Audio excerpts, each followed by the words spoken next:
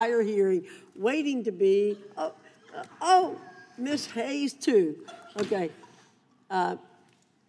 Happy to share the gold star. thank you. Thank you. You're, you're recognized. Uh, Governor Polis, thanks uh, very much for being here uh, today.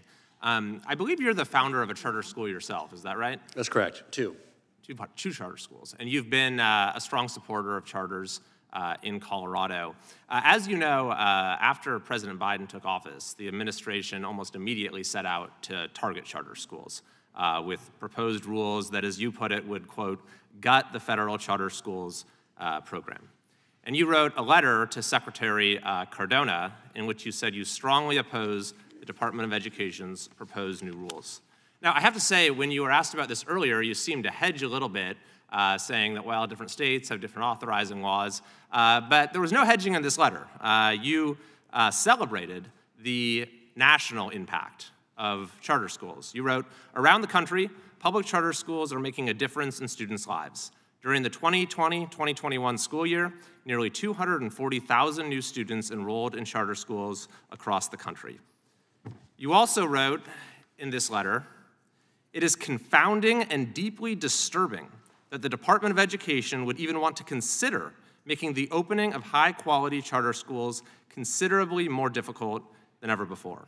Our students need more public school options, and high quality charter schools play a critical role in providing that access.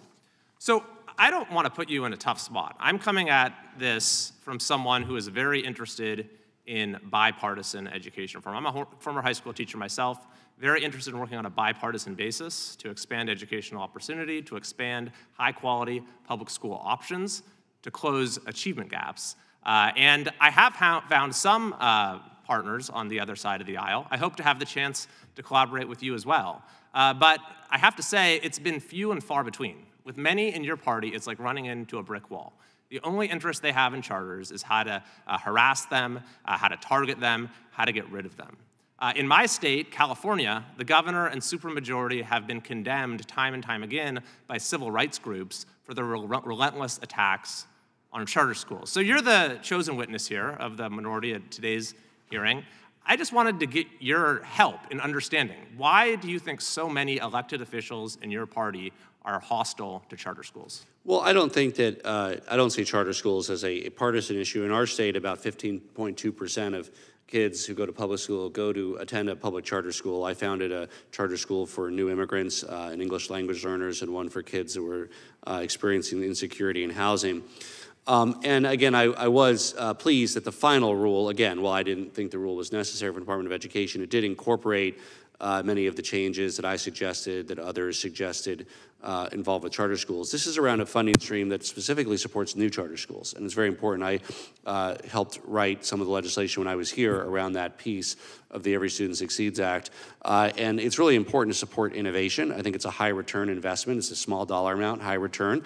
Uh, it's also important to note that not every idea is going to work out, and, and that's okay. Just as every charter school doesn't work out, every new district initiative doesn't work out. Uh, but if you're not trying to do something different, uh, then you're doing things the same way. I'm sorry, and if Governor, my time, my, my time is limited, so I just want to get back to the question Sure. because it has become a partisan issue. It was this administration that almost immediately went after charter schools. And as you well know, uh, it's the, the opposition to charter schools uh, largely comes from uh, the other side of the dais. We've heard some comments today. So I want to get your thoughts on this. Why has it become a partisan issue? Because I agree with you, it shouldn't be.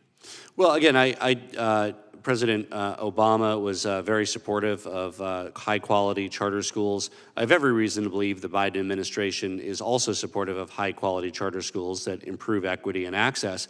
Uh, I think what they're pointing out, and again, I don't always agree with uh, everything that uh, they've said, is they're even they're more concerned about the equity and access piece. And I think it is complicated how charter schools affect equity and access. Depends on the particular charter school, depends on on, on, on the attendance, depends on the recruitment.